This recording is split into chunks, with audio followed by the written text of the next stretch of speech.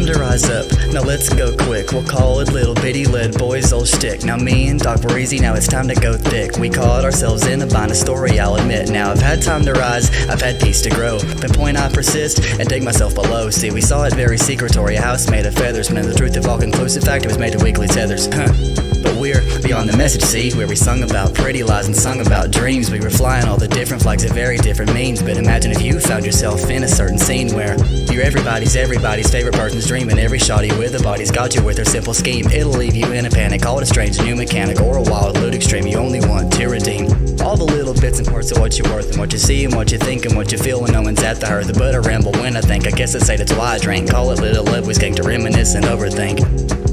Now let's go clear. Let me exhale and prevail. Let me redo it next year. See, that's what I'd say when I'd crush and beat my brain, thinking each and every day how I need to go away to a far, far place where I'm gone from everybody and my mind's near space. But I'm in the wrong race. Call it a hit to first base where I'm long gone still to a chilly, distant place where I'm down by the mill. There's a tiny little crest where you ride by the hill, and a pretty little girl that'll wait there until, cause she knows the drill. She'll sum up my rhyme and sign my own bill. Call it a vibe.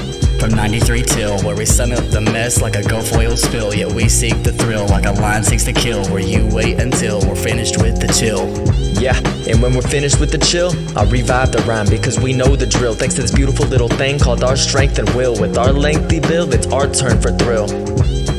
But our hourglass is fading patiently. I'm sat here waiting. Maybe I'll grow up and be a famous rapper, Marshall. But with the way that things are swaying, I'll be fading into space before the glass begins to break. And yes, I'll watch it sparkle. I'm impartial, but I'm here. I fear I'm wasting all my time because I'm counting by the year. I procrastinate the climb. There's no denying I'm the rear.